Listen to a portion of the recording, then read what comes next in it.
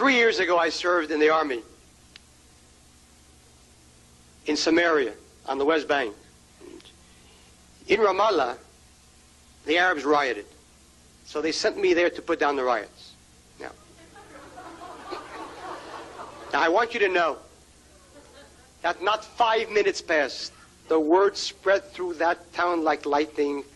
Kahane's here. The rioting stopped.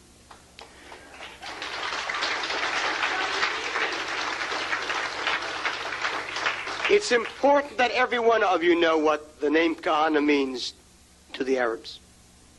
It means terror. They're afraid.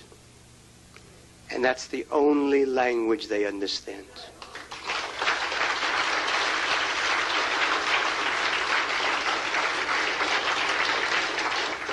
And for those nice Jews sitting here who say, that's, that's terrible, let me just repeat what Moshe Arens once said to a group of UJA givers in Jerusalem. One Jew got up and he said, why, why, why must there always be, be war? Why can't we sit down with the Arabs, coffee and cake, and we work the problem out?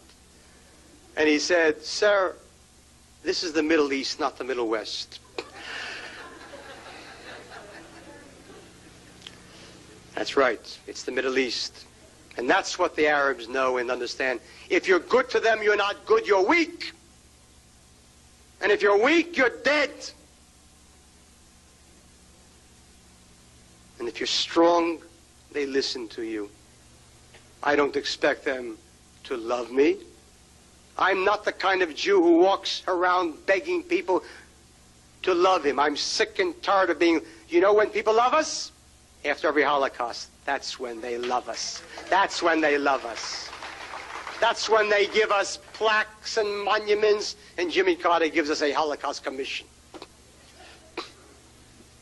Well, I'm tired of Kaddish, and I'm tired of yahrzeit, and I'm tired of plaques. And my, I don't want love, I want respect.